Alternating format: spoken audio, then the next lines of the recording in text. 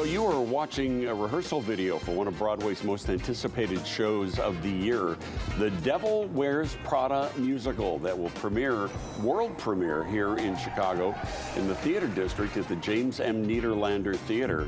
Javier uh, Muñoz, who starred in Broadway productions of Hamilton and In the Heights, plays Nigel Owens in it, the character that Stanley Tucci played in the movie, and he is here with us this morning. Welcome. Nice to have you with us. Thank you so much for having me. Uh, yeah, welcome to Chicago. Uh, got, what does it mean uh, to have this world premiering and doing the pre-Broadway tryout here in Chicago? What kind of feedback do you think the city will give you for that? Chicago's a pretty savvy theater town, so so this is a smart place to bring this and test the waters, so to speak.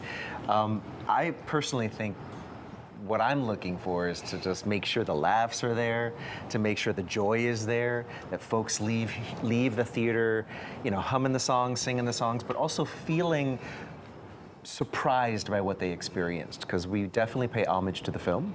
Um, but we take in a little bit of a different journey, and it, it's it's it's kind of perfect, the perfect town to test this and see sort of put it in the oven and bake it here. Yeah. yeah.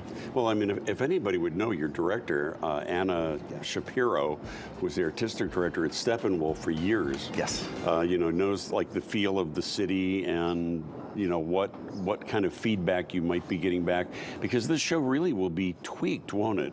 Yeah. Between now and the time that it goes to Broadway later on this year.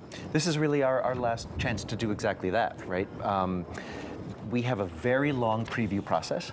And that's really fantastic because that means fantastic for the show, but like more work for us, you know, in yeah. terms of every day there will be something new that we're going to add or change or fix or explore.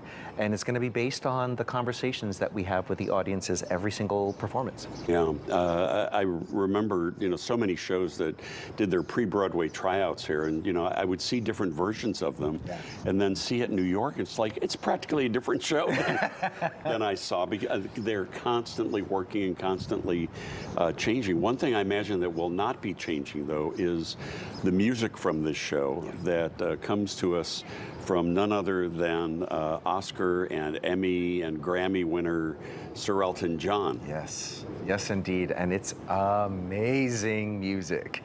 And I mean, I think if anything, if anything is going to change music-wise, it will be more music. You yeah. know, I, I believe. Yeah. But he's he's really composed some incredible, incredible tunes.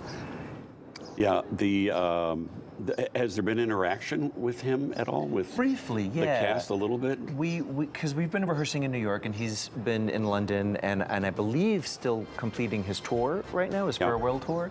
So th there's been more collaboration and, and, and work between um, between he and, and, and our, our creative team.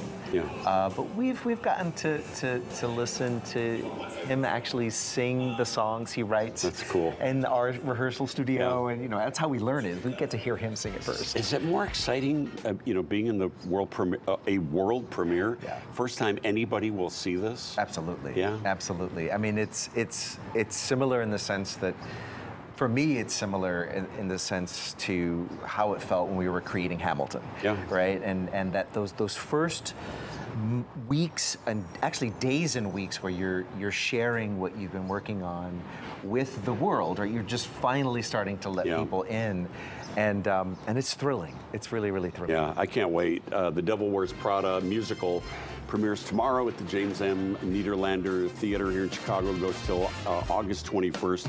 Tickets and info at BroadwayInChicago.com. Javier, thank you so much for coming in. Thank you for having really me. Really appreciate it.